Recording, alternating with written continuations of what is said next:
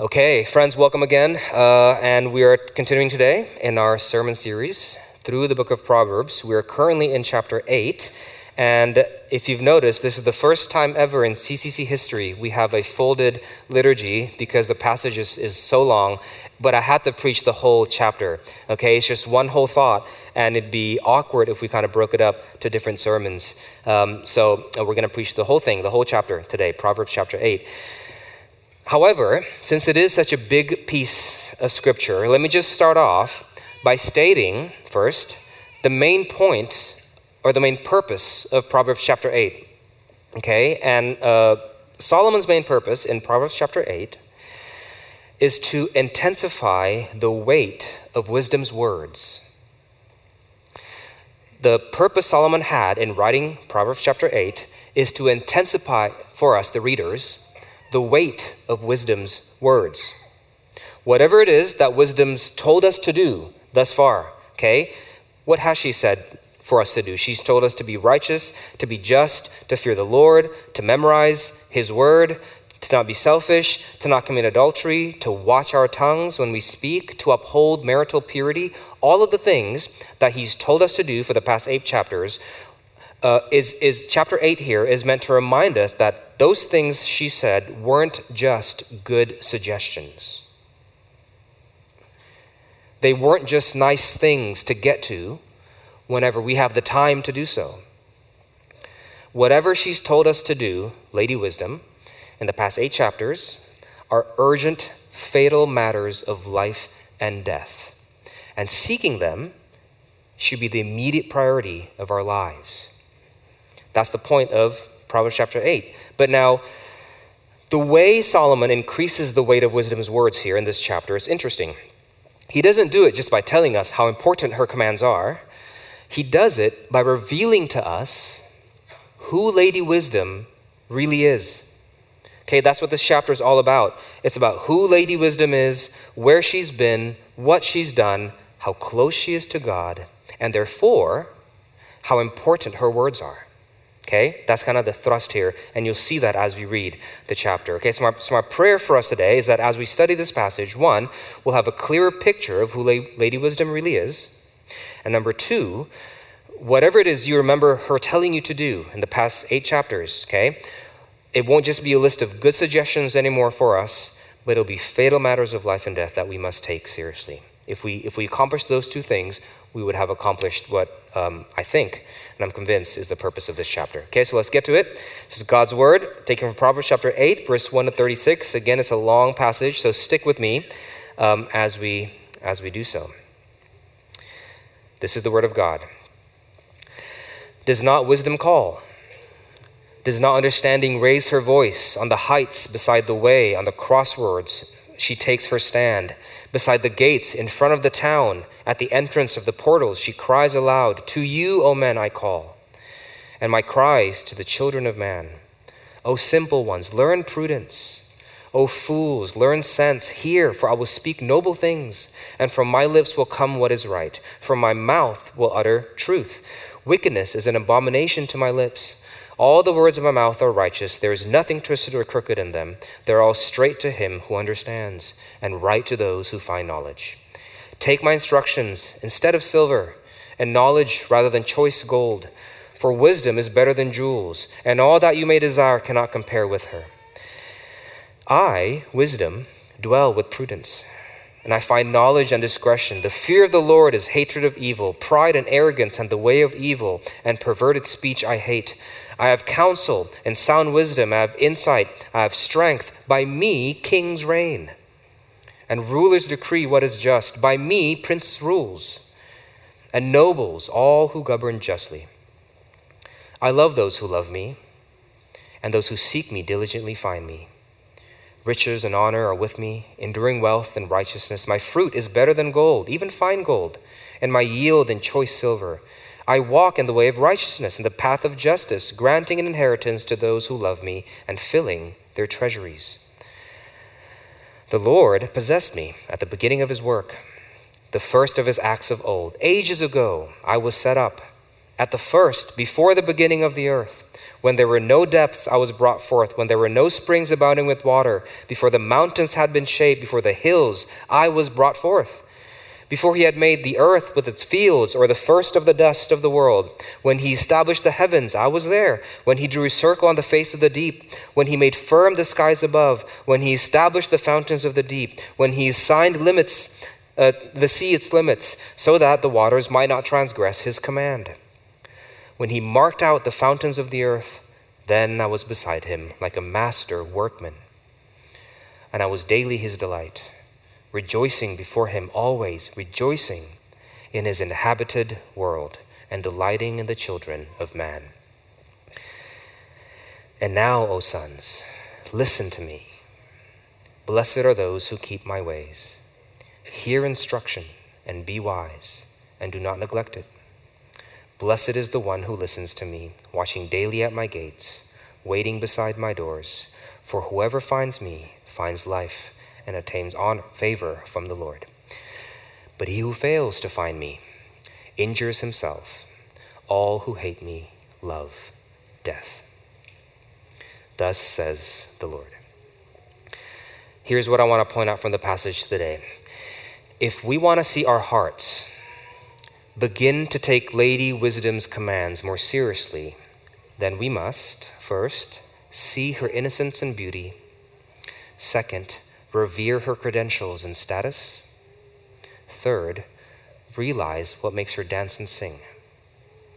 Okay, three things. If you want to start taking what you've read in chapter 8 more seriously, you got to see wisdom's innocence and beauty, you got to revere wisdom's credentials and status, and you got to realize what made her dance and sing. Let's start with the first point. Let's see wisdom's innocence and beauty. So, if you take a look at the first three verses again with me, check it out. What you'll see there is that Lady Wisdom is crying out to us. From where? From the entrance of a city gate.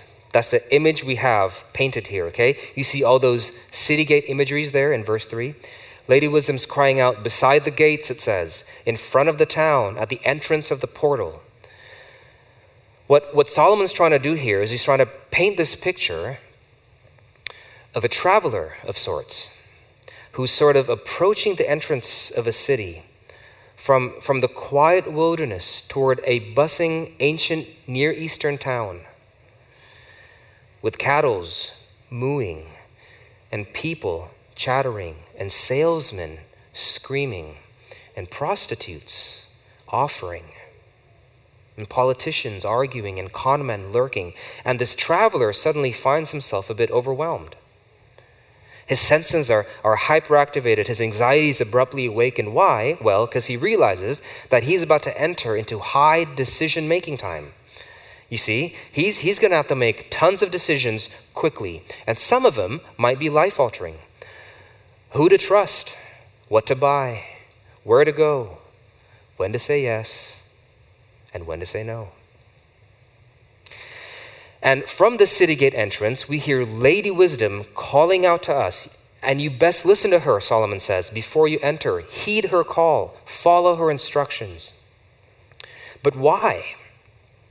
And, and, and here's the main point why listen to Lady Wisdom? Well, the obvious answer is because wisdom is useful, right? Wisdom can, can, can save you from these bad people. Wisdom can save you from these bad decisions. Wisdom can protect you from the adulterous woman, as we've read the past few chapters. Wisdom can even help you rule whole cities, Solomon says in verses 15 to 16. You see that? She can turn, to, turn you into kings who reign, and, and, and prince who rules, and nobles who govern. In fact, Wisdom, Solomon continues in verses 18 to 21, might even help you make a little bit of money. And that's totally fine. That's great. Why not? Solomon lists out all the practical benefits of wisdom in verses 15 to 21. You could lead, you could rule, you can make some money. That's fine. Enjoy them if you get them. But what's interesting is that those practical benefits weren't Solomon's first proposition in this argument. Those come later in verses 15 to 21. But before that, look at verses 6 to 9. what was Solomon's first reason as to why this traveler should seek wisdom?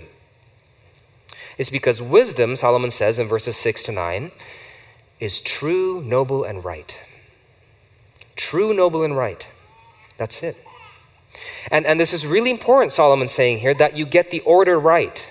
Okay? If you really want to be protected in the city, which symbolizes high decision making time, if you really want to be protected in the city, you must first and foremost seek wisdom for wisdom itself and not just because of the practical benefits that wisdom might get you. That's his, that's his point here. In other words, you must treat wisdom as beautiful and not just as useful. What do I mean? A pastor once explained the difference between usefulness and beauty in, in this way, and I've, I've used this a few times before, but it seems appropriate here. He said this uh, How many people here listen to music? How many people here watch movies? Why do you get lost in poetry? Why do you read books? Why do you stare at paintings for hours? Are those things useful? Absolutely not. Do they pay your bills? You know, do they pay your rent? Do they put food on the table? No. So why do you do them? Because they are beautiful. See, something's beautiful to you when it becomes an end goal in itself and not just as a stepping stone to get something else. That's what Solomon is saying here. You must treat wisdom as beautiful and not just as useful. That's really important you get the order right because here's why. If you treat wisdom merely as useful, okay, just as a stepping stone to get something else, what'll happen is that the thing that you're trying to, to possess through wisdom will end up possessing you. If you treat wisdom just as useful, whatever it is you are trying to possess through wisdom will end up possessing you. What do I mean? Uh, look, you might get a bit of money through me, Lady Wisdom says in verses 18 to 21. That's fine. But she says first in verses 10 to 11, you should seek me, not money. A commentary I use puts it this way uh, When silver is the re- reward of wisdom, it edifies, but when made the aim of one's life, it corrupts. When, when silver is just sort of a side benefit to wisdom, it actually edifies you. But if you make that the main purpose of your life, it'll corrupt.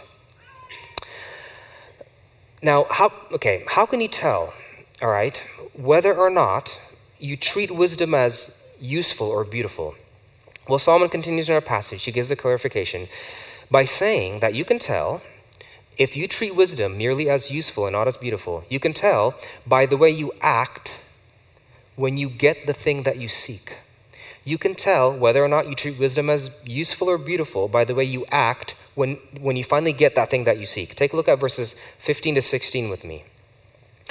Wisdom there says, By me, through me, kings and rulers and nobles, what? Reign and rule, right? That's great. But here's how you can tell whether or not someone became a king as a side reward for wisdom and not because that's what he wanted uh, this whole time from the beginning. Someone who becomes king as a side reward for wisdom will rule with justice, he says in verses 15 to 16. Justice is mentioned twice there.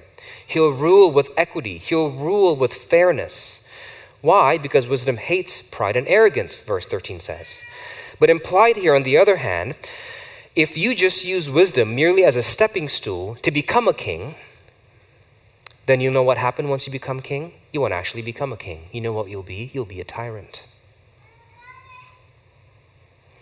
You won't rule with justice. You won't rule with equity, but with inequality. You won't actually possess kingship, but kingship will possess and enslave you. That's what a tyrant is, by the way people enslaved by their own power. And this goes with every position in life. If you get, for example, promoted to director, okay, uh, because you're truly wise, well, then you'll be a fair director who directs justly. But, for example, if you become a director only because you used wisdom as a stepping stone to become a director, once you get there, you'll become a bully.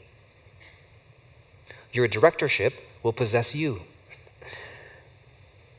You get ordained as a pastor because you're truly wise. Great. You'll probably be a good and just pastor.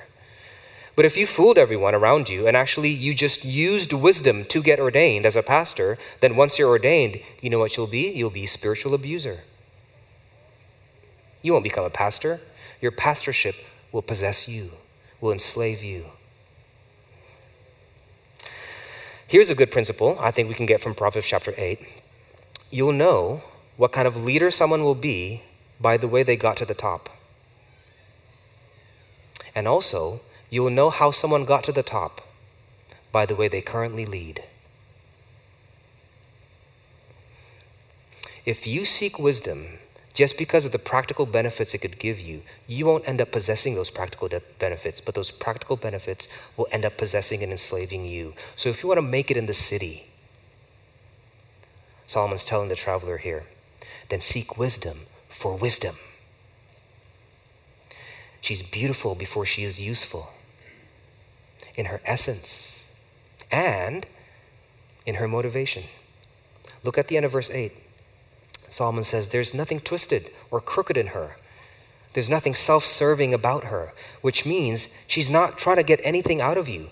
She's not telling you to do these commands because she has an ulterior motive. She wants to guide you for you. But she can only do that if you love her for her.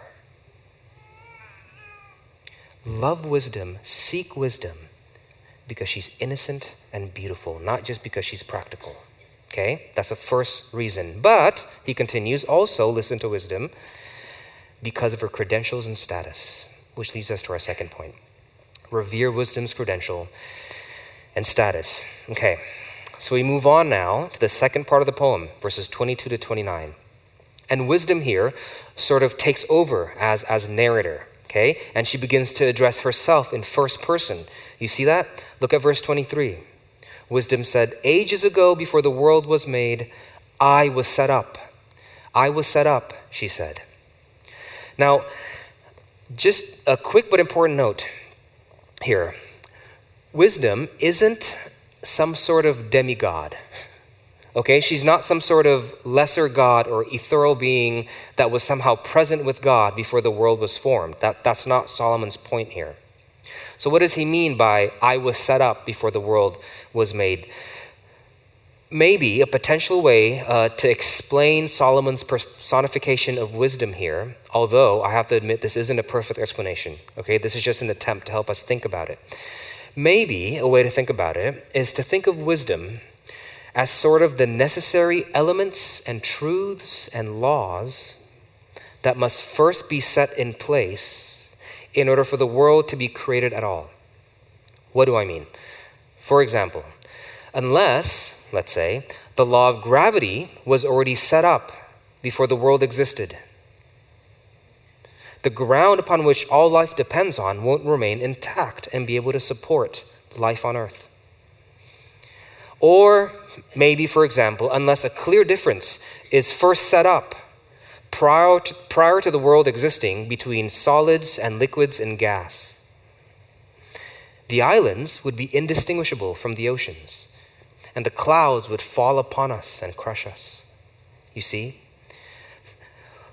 Maybe that's one way to think about wisdom's personification here, but, but if you don't feel like that's a good explanation, either way, the point is that wisdom is not a demigod, okay? She is whatever it was that was needed to be set up in order for, look at verses 28 to 29, in order for the skies to remain firmly above us and not fall down and crush us. You see that? Wisdom is whatever needed to be set up in order for the islands to be distinguishable from the oceans and not flood us. Verse 29 says that. Wisdom is whatever needed to be set up in order for the foundations of the earth to remain intact and not crumble below us, verse 29 says. You see that?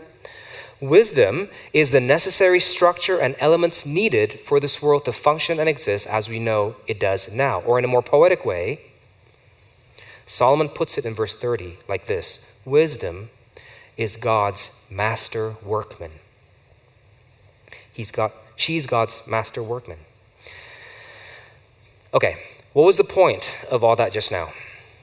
Why did wisdom just really like show off her credentials here, right? She was, she was bragging. Uh, look at this, look at all that I've done. Well, she did it not to brag, she did it not to st- strike her own ego. But as mentioned earlier, she did it so that you and I would take her words more seriously. She's saying, Look, children of men, I know what I'm talking about. I really do. Here are my credentials. Here are a list of my previous projects. My letter of recommendation comes from God Himself. I was with the great I am when all of this was made. I was. And you're just going to take my words in the past eight chapters as what? Good suggestions? Don't you know who I am? These aren't good suggestions from a self help book. These are words that are coming out of the mouth of God's very own cosmic artisan who shaped the fabric of reality itself. They're not pretty suggestions. So, so Solomon's trying to tell us here when wisdom says, treat the covenant of marriage with utmost honor and respect, you better well do so. When wisdom says, mind your tongue and how you use your words, you better well do so. When she says, study, memorize, and obey God's word, keep it near to your heart, you better well do so. Why? Not because they're a list of religious things for you to do, not because they're things that could help you meet, uh, feel better about yourself. No. Do those things because the person who knows how the universe works, the person who understands the blueprint of reality like the back of her own hand, the artisan of God's cosmic order, is telling you that this is the best way to live in this reality. This is it. By honoring the covenant of marriage, by reading and obeying God's word, by not taking shortcuts to joys only God can offer. I know how this world works. By the way, isn't it interesting that wisdom is the only one who can say, I was, to all of the rhetorical questions that God asked Job in our confession of sin passage earlier? Do you notice that? Take a look at our confession of sin passage again from your liturgy printouts. How did God rebuke Job? He asked Job, uh, You're questioning my decisions? Okay. Were you there when I laid the foundations of the earth? Were you there when I made the clouds like garment and thick darkness like a swaddling band? Were you there when I made the proud waves stay and not flood the land? Were you there when I entered into the springs of the sea and walked in the recesses of the deep? And that made Job shut his mouth real quick because he couldn't say yes. None of his friends could say yes, and none of us here could say yes either. But you know who can say yes? Lady Wisdom. She's the only one who can say, in fact, yes, I was there. At the first, before the beginning of the earth, I was there. Before the hills were brought forth, I was there. When he established the heavens, I was there. When he set the foundations of the deep, I was there. I was. I was with the great I am when he did all of these things. I know how this thing called life works, guys. I really do. So listen to me. Listen to me. Why would you ever trust your own passions over me? Why would you ever trust your own reasoning over mine? You weren't there. I was. Listen to wisdom because she's innocent and beautiful. Listen to wisdom because of her credentials and status. But that's not all. You should also want to listen to Lady Wisdom. Solomon continues in the last part of our passage because she's deeply, deeply invested in your well being. Which leads us to our last point. We got to see what makes her dance and sing. Okay? What made Lady Wisdom dance and sing?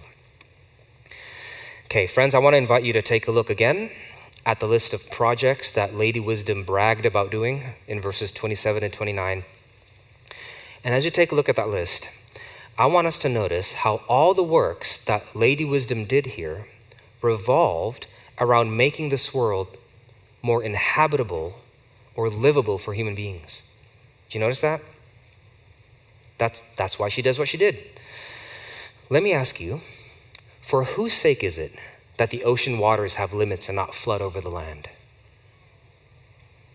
Hmm?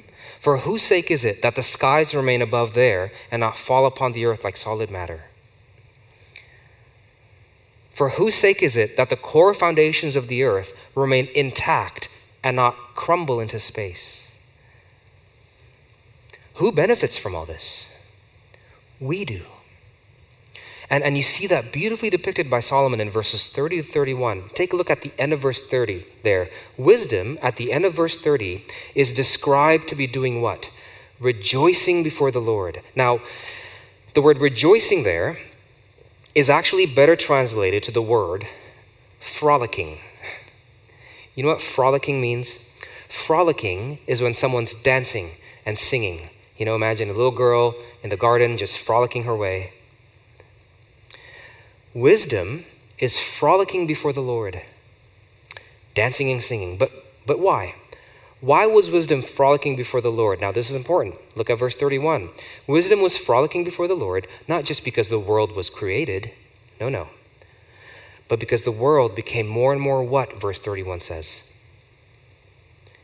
Inhabitable. For who? For the children of men. In other words, for you and for me. So, so picture here Lady Wisdom, you know, dancing and singing before the Lord as the world is kind of being made, and her and the excitement of her movements gradually increased.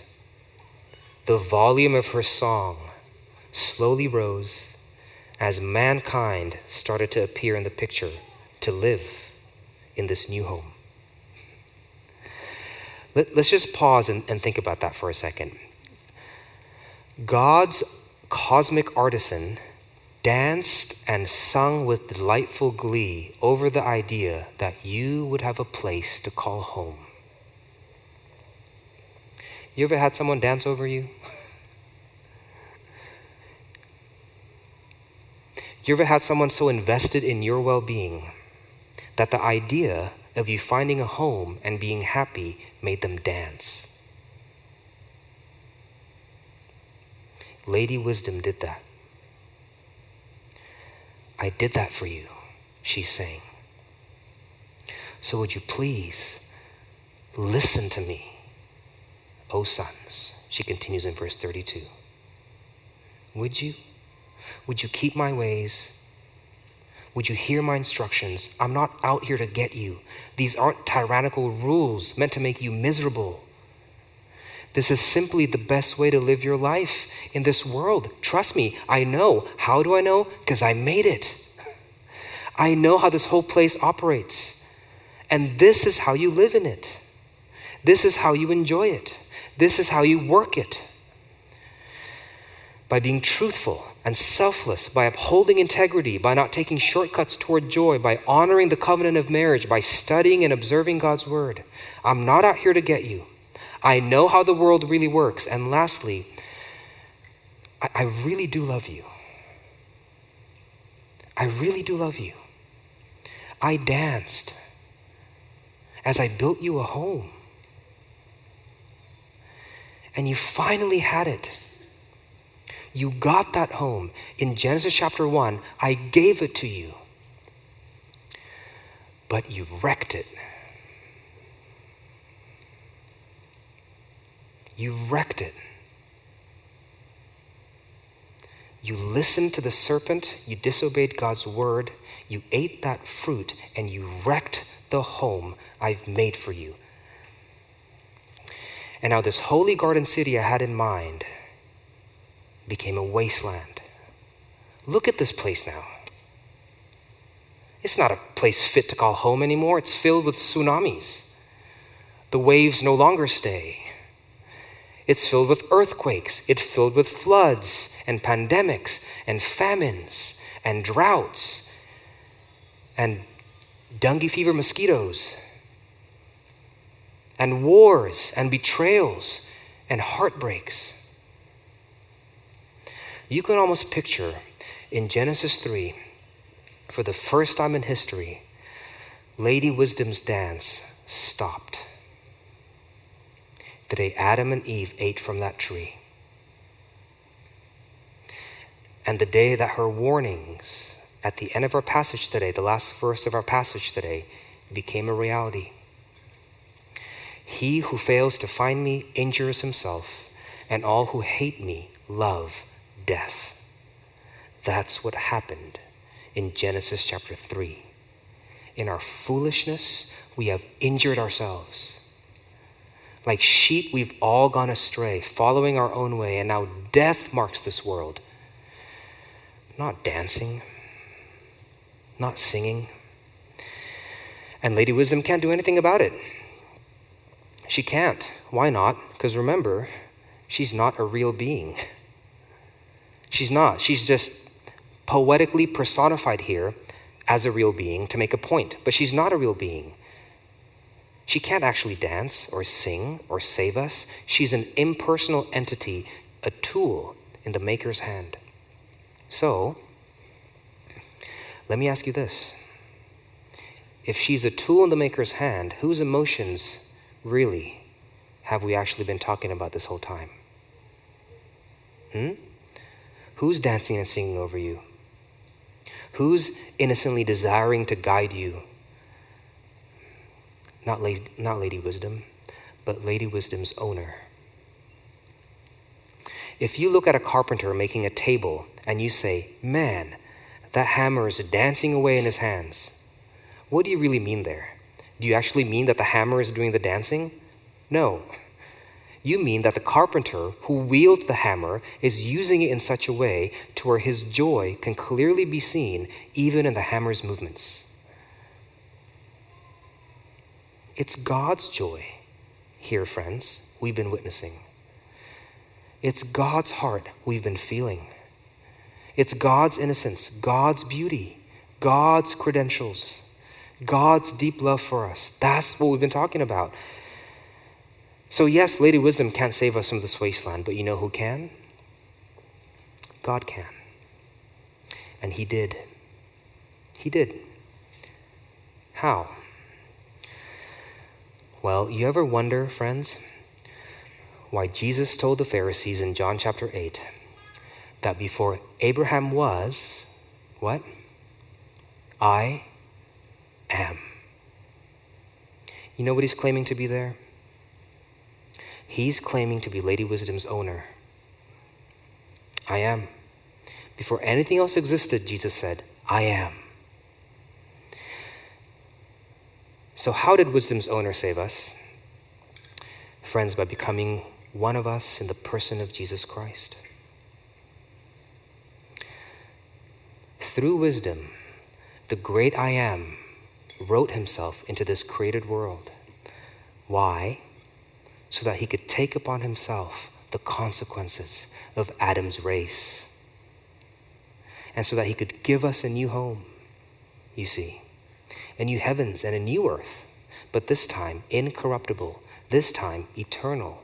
Why? Because it was built on the foundation of his blood. If in the garden wisdom stopped her dancing, surely on that cross she began again as she witnessed her wielder commence a new building project called the church and the construction of a new home called heaven. That was all paid through his own life on a cross. Behold, friends, wisdom's owner, the eternal God. He's beautiful. His motives are pure. His credentials staggering. And he dances over the idea of you having a home. So much so, he was willing to give his own life for it. So, as Solomon's point goes here, you would be an absolute fool not to take his words and instructions with the utmost honor, gratitude, urgency, and respect. Let's pray.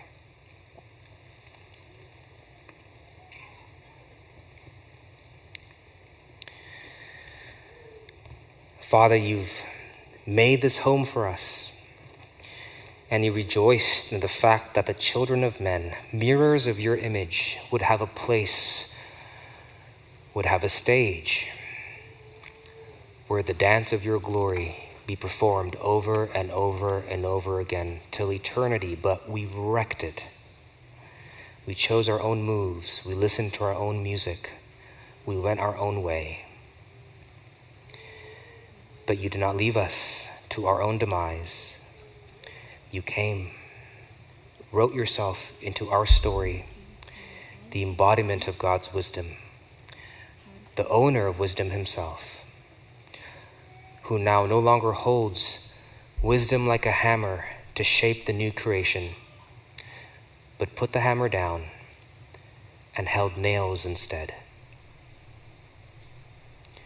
And now the new building project can commence, not by the strength of our own, but by the mercy and sacrifice of the great eternal God who became poor and died for us.